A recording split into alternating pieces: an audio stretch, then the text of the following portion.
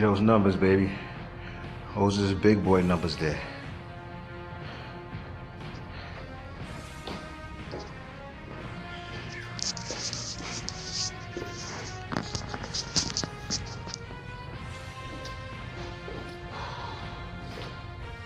Start the big.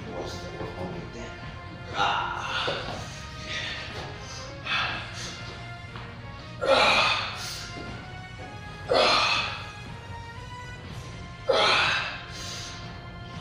Ugh.